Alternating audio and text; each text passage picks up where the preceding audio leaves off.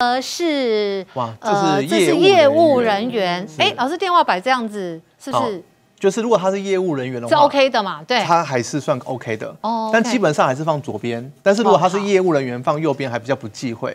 哦，代表说他可能在接一些女性的，例如说保养品啊，或是女性相关的呃物品，他可能会更加顺利。嗯但唯独这个的话呢，我要因为他要摆一个可是老师，心机嘛，你看他这放对了耶，是不是哎，供的很好，但是放的不好。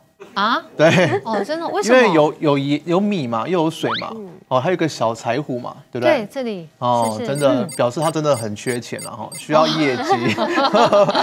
但是呢，这个金鸡哈要把它放高一点点，因为这个金鸡后面有一个土地公的像，那它这个椅子呢看起来就很有气势，对，因为它有一个靠背嘛，这个很像老板的椅子，是不是？有点像老板的家事，像一个主管。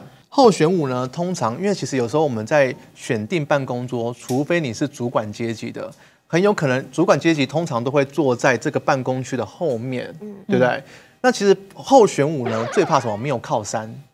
例如说，像我现在坐的位置，我后面有一个布景嘛，它就有靠山。这算有靠山，对对。那有些可能是走道，有些可能是窗户。